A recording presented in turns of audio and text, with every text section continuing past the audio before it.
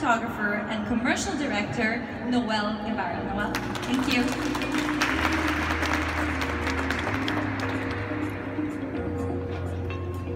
Hi, good afternoon.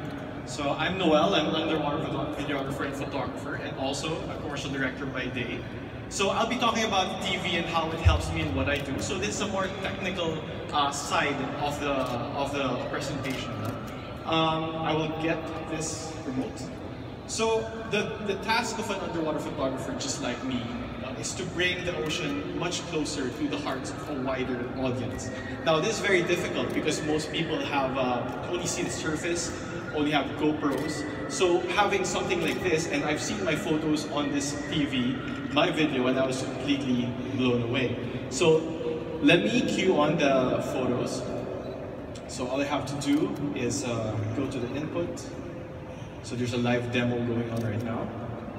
And uh, mass storage, photo. So the, the TV obviously is made for video, right? But now I'll show you uh, probably 10 photos and to give you a bit of context on what I do and demonstrate also the features of the TV. So let's start with this one. So we only have it on the screen here, unfortunately, so if you want to scoot over, feel free. So the photos that I've shot are uh, photographed in resolutions that are higher than 4K. So sometimes they're 5K because it's a DSLR, a DSLR camera. Anyway, so this photo was taken in 2015. Uh, it was uh, in Monad Shoal in Malapascua. That's a thresher shark with two divers. So it generated a lot of discussion, especially when it was featured in National Geographic, because people aren't used to seeing sharks and people in such close proximity in a very non-threatening situation. So I took it upon myself to comment on all the questions for that photo, and I realized that that's the job of a photographer is to start a dialogue with these guys. Next would be a close-up of the thresher shark. So here, this photo was taken at uh, 100, probably more than 100 feet deep at 5 a.m. So, in, and strobes weren't allowed Shoal because, uh, because of the eyes of the shark. And if you bump your ISO to 3,000, 4,000, 5,000, obviously there will be noise. And while I was able to take that a bit and post, the TV does it pushes it a little further by managing the noise. So hence this is the noise reduction in action. And this was pretty close, probably a foot away from me. So it's very hard to photograph sharks actually compared to what you see in Jaws. It's uh, they're very stigmatized. So when Jaws came out, scared us all out of the water. It was very hard to make people care about sharks. We, uh, 100 million sharks are killed every year for sharks fin soup and I think only five uh, human casualties come out from shark encounters. So there's a big disparity right there. Of course, I also photograph um, the cousins of sharks would be the rays. And I photographed this in Tubataha last year. And you can see here uh, a very, very good uh, demonstration of the black point that, I'm, that they've been discussing. As a photographer and a director, I'm very concerned about the tonality of the films that I do or the photographs that I take. I want to make sure that black is really black, so the colors are actually on point. And if you see here, the gradations of black on the pattern underneath the, the manta, so those are like fingerprints. So you can identify an individual, I will use the magic remote, to identify if that is the shark, that, uh, sorry, the ray that they are, are there studying. And then there are some situations in uh, underwater light is very different. They behave very differently, especially color. So you can have in one frame, such as this one, where it's very, very bright because you have the sun. But you also have shadows on the lower right, uh, lower right part of the frame.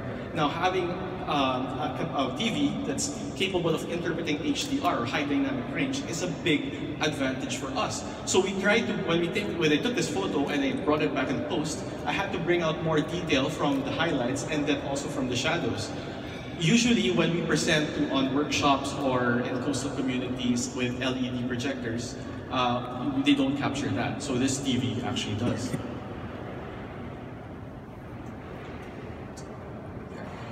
Okay, but it's not all just for inspiration. So this is a photo of obviously a butanding, and photos like this one help uh, marine scientists to identify uh, the different individuals of whale sharks. So those spots that you see there, again, are like fingerprints. So they, it helps them identify if this shark passed already through Tubataha or in Oslob or in Donsol. So we use the left side. We, we look at the left side of the shark, but in this case, uh, for, for this video, uh, for this photo, we have the right side. And then you have um, people who are into conservation itself of the reef. Now, most of our reefs are damaged because of destructive fishing and, uh, uh, and, and bleaching. And when people come together and donate funds, resources, and time, they want to see where it goes. So taking a photo of something like this, where you have structures holding up uh, coral heads, and they see it, and you see the vividness, uh, the vivid color, it's very inspiring, and it's very, it's sort of a validation also for them. I'm also very passionate about uh, single-use plastic. So this is a photo I took in Balicasag and it was used by National Geographic last month for their Planet or Plastic campaign, so for their uh, online initiatives. So again, you can see how bright it is behind the, the, the, bag or the subject and how dark it is around it. So again, this is the first time I've seen it uh, this clear and with this so much detail.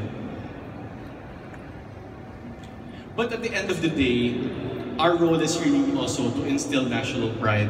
Uh, this is a photo I've taken of uh, my friend who was in Tubataha. So I'm very fortunate to share with you that this will be uh, in one of the NAIA airports uh, next month um, to promote Tubataha's 30 years. So here you can see everything in play. Noise reduction, uh, accurate black, vivid color, everything is just right there. And if only the print itself or the billboard could be like this, that would be so much more impressive. And not just Tubataha, another gem is Bohol in Balicasag, which is a marine key biodiversity area. And there's also another uh, display, if I'm not mistaken, that we're coming out here in the, in the museum. And turtles are my favorite subjects, of course. So they're very cute, they're very cuddly. So I like when I take them, I get to get people to, to, to be more into conservation, which is actually a bit different when it comes to sharks. Sharks, people don't like sharks, so it's hard to make them love them. So, but being able to capture portraits like this in the shark beforehand gives you a sense of their personality and uh, sort of, it's a, it's a wrong term, but sort of humanizes them uh, for the viewer. Now, it, the, the, the TV itself is very impressive, impressive to have as a tool when we try to share our efforts with, uh, coastal communities, with students. But I know it's highly improbable for me to be able to bring this technology with me when I travel, when I give workshops.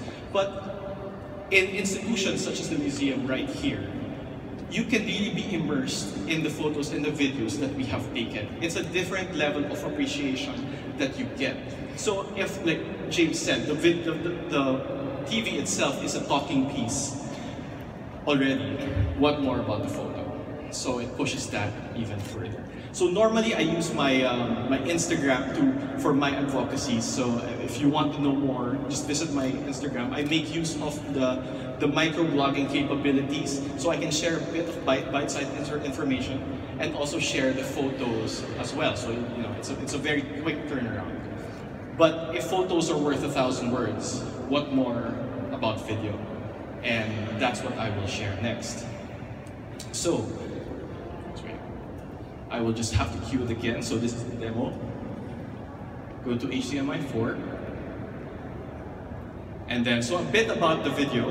Uh, we shot this last year, so I was commissioned to shoot video. This, these are the projects that I love. Shoot a video for the National Museum to showcase Bohol, the Bohol Sea, as a biodiversity, biodiversity area. Um, we were very lucky because the the weather cooperated and all the usual suspects, the reef, the, the turtles, they all came out. Uh, we wanted whale sharks and mantas, but they, it wasn't the season for it. But anyway, it's a, it's, a, it's a great experience and I hope you get to see it the way we, we saw it underwater, at least I saw it. Thank you.